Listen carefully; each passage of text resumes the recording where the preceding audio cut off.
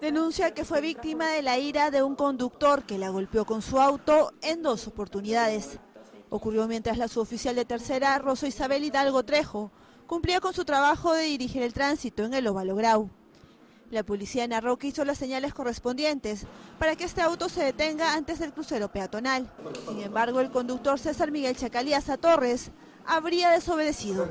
Me acerqué a intervenirlo, el señor se negó a retroceder, me paré delante del vehículo, me este, impactó por primera vez, retrocedió, se distrajo con el equipo móvil y me dio otra impactada.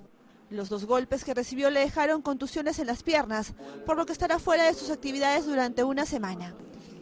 El conductor del Volkswagen de placa HG2517 fue llevado a la comisaría de Cotabambas, donde habría manifestado que no escuchó las advertencias de la policía y que tampoco tuvo la intención de atropellarla con su auto.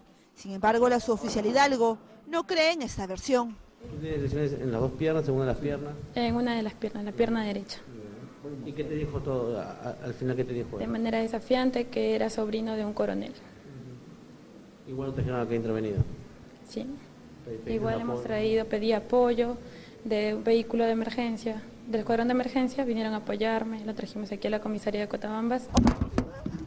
¿Qué tendría que decirle a la suboficial? ¿Usted le pide disculpas? ¿Le pide disculpas a su oficial? Estamos pidiendo el video que nos dé la Municipalidad de Lima para poder, digamos, apreciar mejor las imágenes, ¿no? Eh, y demostrar fehacientemente pues, que ha sido de una agresión a un efectivo policial que cumplía su función. ¿Qué cargo y qué sanción le correspondería a este señor? En este caso este, se está investigando a este señor por el delito de violencia y resistencia a la autoridad. La defensa de la policía ha pedido que César Chacaliaza sea sentenciado en menos de 72 horas bajo la ley de flagrancia y exigen que reciba una pena no menor de siete años de cárcel.